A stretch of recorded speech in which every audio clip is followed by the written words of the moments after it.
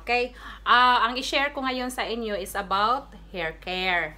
Okay? So, the brand that I'm going to share with you is Infotium.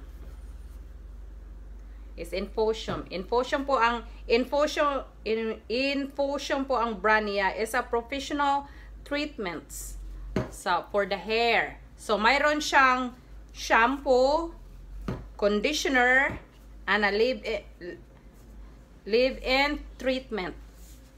So yung shampoo and conditioner dalawang klase. Okay? So Okay, uh, shampoo muna tayo. Sa shampoo, ito. Okay, nakita niyo. Ito. So, sa shampoo, we have repair and renew. Repair plus renew with argan oil and keratin. So, this is this is shampoo. So, ang partner niya, mayroon siyang partner na conditioner. Conditioner siya. So, ito. Ito po ang partner niya. Okay? So, this is for repair plus renew with argan oil and keratin conditioner. And this is shampoo. So, after ninyong gamitin ito, para mas bungga ang result, uh, this one is a, is a spray, is a hair uh, treatment, uh, leave-in treatment. Ito po siya. I-spray lang ninyo. Promise, this is super good super good talaga sa inyong buhok. Okay? And then, yung isang klase naman, moisturize and re replenish. Moisturize and replenish, um, ah, plus rep replenish. Uh, this one is a conditioner. And this one is a shampoo. Kita niyo? Ah, this this shampoo is a little bit expensive. Okay, but pero hindi kayo mag um, hindi kayo mag-regret kung ito ang bibilhin nyo. Okay? Sa mga may salon or yung mga nag uh, nag anong tawag dito? Yung nag house to house ba na mag uh, ma, ano anong tawag dito? Yung yung bang nag uh, basta this is a treatment. Yung mag mag, mag treatment sa hair ba na yung yung mga, yung hair na hindi na shiny. So, pwede silang mag house to house. So, pwede din itong gamitin sa salon. Oh, super ganda talaga ito and very effective. Na-try ko na po ito. So, see that I have, I have both of this.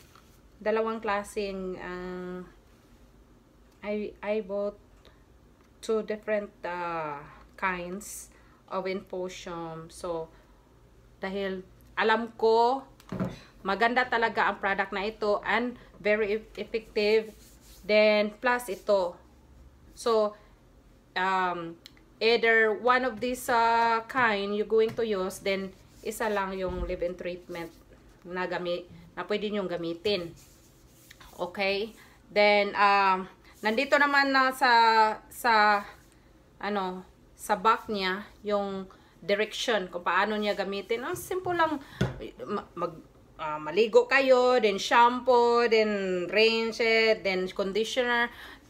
Yung mga ganon, then leave-in treatment, yung paglabas nyo na, na sa sa shower. Oh, ito, leave-in treatment. So, nandito din sa sa back niya ang uh, directions kung paano gamitin. Oh, sa mga gustong mag-business, ito, I think this is good for siguro mga 10 times siguro ninyo to ma magamit. And then sabi nila ang charge ang charge nila 1,000 to 1,500 pesos per treatment. Oh, per treatment ito. Oh, and then if 10, 10 times or at least 15 uh, siguro na, na siguro 15 times. Maybe maybe 10 times lang siguro. Then 1,000 1,000 1,000 ang charge nyo or 1,500. And then, uh, ito, uh, I sell this for 1,500 as ang set na. Oh, I'm trying to sell this one. Let me see. I try to sell this one. One set. Oh, hindi pala to ang set niya. Let me see. Oh, shampoo. Ito. Oh, each set niya 1,500 po ang sale ko nito. Oh, ito is about 9 uh, 850 ang leave-in treatment. Mas mahal po ito. Uh, pero spray-spray lang naman. Uh, so, hindi na po kayo logi. Kung 1,500 ang set, then then mag uh, mag-treatment kayo, mag house to house kayo or sa mga salon 1,500 ang charge niyo uh, per customer. And then both of this 1,500. So bungbang bunggang bungga na yung profit. Oh, okay. So wag niyo kalimutan Infosium Infosium professional treatments. Oh, Infosium ang ang brand. Okay?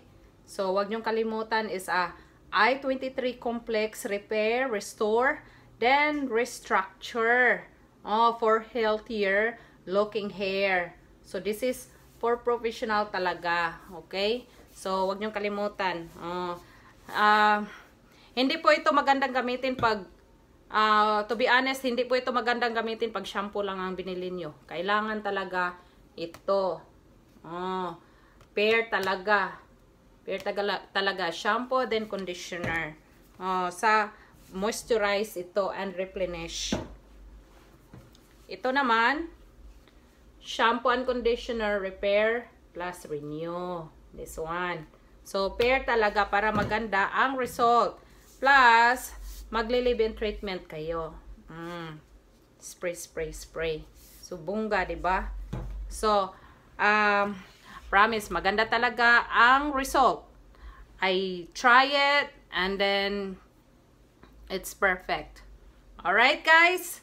Okay, so if you have any questions, you can comment down below or any suggestions. I'm open of suggestions. I'm good on that and I'm gonna look for answer for you. Alright? Uh, see you some other time. Bye-bye.